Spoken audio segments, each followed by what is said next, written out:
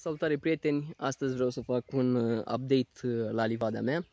Uh, după cum ați văzut-o ultima oară, v-am prezentat-o în cam o oră, deci bănuiesc că n-a văzut nimeni acel filmuleț până la capăt. Aici am un, un păr care are ceva probleme la frunzulițe, deși a fost stropit cu fungicid și cu insecticid. Majoritatea celorlalți arată extraordinar de bine, în afară de cei doi care v-am v-am spus că nu s-au prins. A crescut foarte mare cartofa, parcă e o, pur și simplu o junglă, abia se mai văd copacii din ea, dar nu cred că va, vor fi afectați copacii. Acum câteva zile am avut și, și o vijelie și mi-a rupt câțiva copăcei, sau mai bine spus câteva crenguțe la ei. Uh, exemplu poate fi acest păr pe care l-am prins cu câteva funii sau ațe pentru a-l îndrepta și o rămurică s-a rupt, deși încă este verde și vedeți că începe să crească în sus, probabil ar fi foarte bună de altoit, ă, probabil o voi, o voi elimina pentru că am destui copaci și, și chiar nici nu am pe ce, niciun portaltoi pe care să, să altoiesc. Porumbul, după cum se vede, culcat, Uh, vigilia a fost foarte puternică, cred că cea mai puternică din ultimii ani, foarte mulți copaci au fost rupți, probabil uh, în toată țara s-a întâmplat uh, acest fenomen. Din fericire la mine nu, nu a făcut pagube însemnate.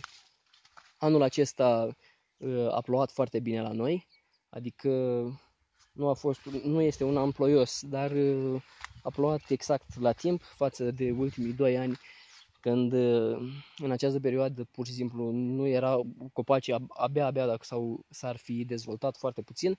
Acum vedeți cât de, cât de mult, ia uitați acest măr, cât de frumos au crescut uh, crenguțele.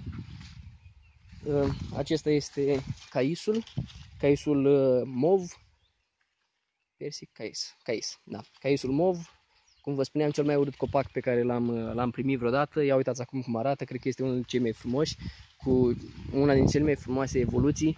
Deci pur și simplu nu avea nicio, nicio ramură. Ia uitați acum cum are, inclusiv această ramură foarte groasă care arată excepțional de bine. Nu știu cum uh, îl voi uh, tăia, dar uh, adică să-i fac tăieturile pentru a-l dirija, dar deocamdată îl lăs liniștit. Pe aici, undeva prin fasole și cartofi, am un afin, afin sau afin, nu, nu contează, canadian,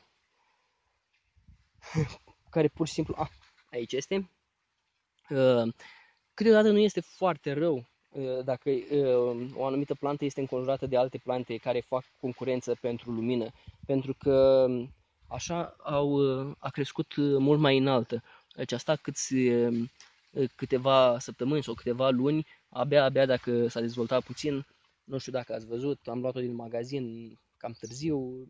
Oricum, i s-a oprit evoluția la un moment dat, dar acum și-a revenit. Voi veni și voi face curățenie în jurul ei. Aici uh, am uh, un cireș necking sau necking, ceva de genul ăsta.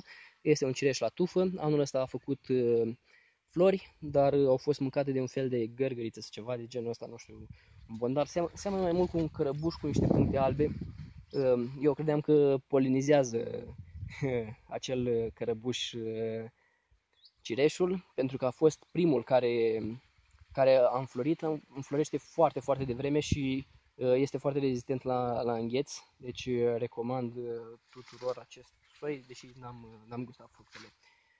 Dar nu o să vă vorbesc prea mult despre copaci, pentru că m-am spus data trecută, acesta este caisul care a fost îngropat cu jumătate de metru mai adânc și în toți anii în care l-am avut nu a evoluat absolut deloc.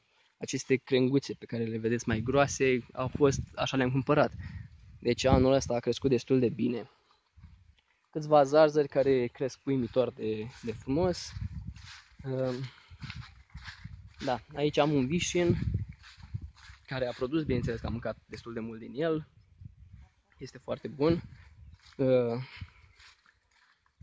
Uh, aici încă un vișin care l-am pus anul trecut, mi-a făcut cele mai bune vișine pe care le-am mâncat vreodată. Au fost foarte uh, uh, timpurii, foarte, foarte bune.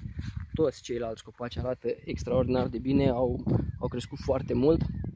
Eu cam o dată pe săptămână, o dată la două săptămâni uh, intru prin ei și le tai uh, crenguțele, chiar așa când, când sunt verzi care nu au crescut uh, unde trebuie.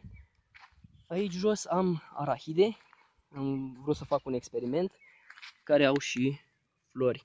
Uh, am citit că, că trebuie udate, au nevoie de apă. Sper să le ajungă apa de, de anul acesta. Aici un cireș care a evoluat foarte bine, deși are jos o crenguță ruptă de la, de la vânt și am mai văzut și, și alții la fel. Să nu lungesc clipul ce vreau să vă mai arăt. Ah, cred că am uh, cireșe și vișine. Uh, am uh, cireșe, deci acesta este un vișin plantat de anul trecut, după cum vedeți arată super. Ar fi avut mult mai multe vișine, dar bineînțeles că am mâncat. Și uh, am și alți vișini care au fost mult mai timpurii, care bineînțeles că acum sunt goi, dar, dar au făcut. Aici am un zmeur galben pus de anul acesta, am mâncat destul de multe zmeuri, zmeu, mm, nu știu cum se spune la de zmeură, am mâncat destul de multă zmeură, uh, acum cred că este a doua tură când începe să iasă, face fructe foarte mari și foarte, foarte gustoase, mie chiar îmi place mai mult decât zmeura roșie, mi se pare chiar mai uh, aromată zmeura galbenă. Uitați, are și aici un, un fruct frumos, sper să focalizeze, da, uh, v-am spus, toți cireșii, tot, absolut tot uh, evoluează extraordinar de bine. Ia uitați numai ce tufă am de, de zmeură pe care trebuie să o, să o uh, răresc anul acesta. Deci tot, tot ce vedeți aici este crescut de anul acesta, este incredibil. Faza stranie este că nu a făcut uh, zmeura, adică a făcut, dar, uh, a făcut flori, dar nu a legat fructe. Deci nu știu cum, ce s-a întâmplat, am mai, am mai văzut chestia asta. S-au alegat fructe foarte mici. Deci două, trei bubițe sau chiar una, oricum majoritatea deloc. Dacă știe cineva, nu evitați, vă rog, să, să lăsați un, un comentariu, un răspuns, să, să aflu și eu. Aici sunt mure, a fost plantată anul acesta, nu știu ce mure este, oricum este ceva care are foarte puțin spini. Probabil voi reveni cu, cu, un, cu un update cu mai multe informații. Ce să vă mai arăt? Alt vision și acesta a fost plin. Bineînțeles că au mai rămas câteva. A, un cireș pe care vreau să vi-l arăt. Vișine și acesta a avut foarte multe. Și aici am agriș roșu. Anul trecut mi-a făcut mult mai multe fructe, dar are și anul acesta, sunt foarte, foarte, foarte gustoase. Arată super, fructele sunt, sunt mari. Să văd dacă găsesc ceva mai... Da, mai răsărit. Din păcate nu am observat că era mai verde. Tot nu nimeresc, nu le nimeresc pe cele mai coapte. Da, Cam așa arată. Mai am încă una gri aici roșu. Mai am și alții care aveau fost plantați anul acesta verzi și ăla verde știu că crește puțin mai mare. Un vișin care a fost plin de vișine. Toți vișinii sunt plantați de anul trecut. Vreau să, să vă zic, în afară de cel mare care l-ați văzut acolo, are un an în plus. Aici am un cireș care are niște cireșe super faine, super faine, care arată super. Ah, erau negre, negre, da. Sunt pe, peste tot. Foarte, foarte bune. Nu știu cum a făcut atât de multe fructe din cauza că este singurul pe care îl am, adică singurul care l-am de anul trecut. Și da, și aici am un uh, opa. nu vine să cred că am, că am fructe. Tiberi Medana. Și mai sus am Tiberi Buckingham. Acesta este de anul trecut, chiar nu vine să cred că are fructe. Haideți că uh, închid și, și repornesc pentru că la mine filmează doar 10 minute. Da, am revenit. Aici am un zmeur care a fost devastat și acesta de furtună, dar nu este foarte afectat, deși fructa, fruct nu arată foarte bine. Am mâncat destul de multe fructe din, din el. Ia uitați cum cât de frumos este și de mare. Pus de anul trecut. Nu mai țin minte cum se numește, dar probabil voi reveni. Acesta este cireșul care avea și două rămurele exact jos. Le-am tăiat, nu, nu-mi plăceau, dar oricum a evoluat extraordinar de bine. Acesta este anul 2. În primul an a fost doar bețișorul acesta și a avut câteva crenguțe din cauza uh, secetei. Ah, vrem să vă mai arăt, mai am și uh, coacăs galben, galben, galben, coacăs galben, care are fructele foarte mari față de coacăzii roșii. Acesta este coacăzul galben. Aici coacăz roșu. A evoluat cam greu. Coacăzul roșu la mine.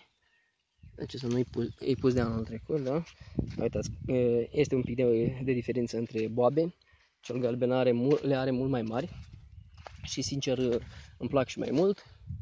Aici am un, un păr cu o pară, probabil mai am încă un păr cu, parcă avea două pere jos, alții coacăzi roșii și un vișin care are destul de mulți ani. Anul trecut mi-a făcut fructe, din cauza secetei nu a evoluat. Anul ăsta i-am tăiat toate florile și uitați ce frumos a crescut. Cu siguranță la anul va, va arăta super. Alt vișin care tot la fel, nu, de care, pe care nu l-am lăsat să crească, i-am lăsat fructele. Anul ăsta i-am lăsat să facă fructe, bineînțeles că a avut mult mai multe, dar uh, atâtea au mai rămas. Și unul uh, normal de grădină, nu știu dacă e sălbatic, dar uh, oricum nu, nu este altoit. Cam asta despre livada mea. Via evoluează și ea extraordinar de bine. Uh, am și struguri, acesta este Cesla Dore, are destul de mulți struguri, este anul 3. În primii ani nu prea am știut eu ce să-i fac. Anul acesta am început să rup toate, să, să o copilesc, să zicem așa, toate crenguțele astea mici. Am lăsat doar câteva, câteva ramuri, corzi, câteva corzi, uh, în așa fel încât să evolueze mult mai tare. Deci de ce să, să fac 5 ramuri mici când poate să facă unul, una, o, sing, un, o singură coardă mare și să evolueze mult mai bine. Uh, aici am um, un persic, da, persic care a avut foarte multe fructe. Fructele l-au împedicat să evolueze. Vedeți cât de puțin a evoluat anul acesta. Deci de aici până aici este creșterea unei crenguțe și să vă arăt altul care l-am plantat anul acesta, care nu au făcut flori. Ia uitați cât de mari are crenguța de aici până sus. Toate crenguțele sunt noi de anul acesta. Cam asta am vrut să vă spun. Nu uitați să vă abonați și cu siguranță voi reveni cu, cu mai mult despre livada mea.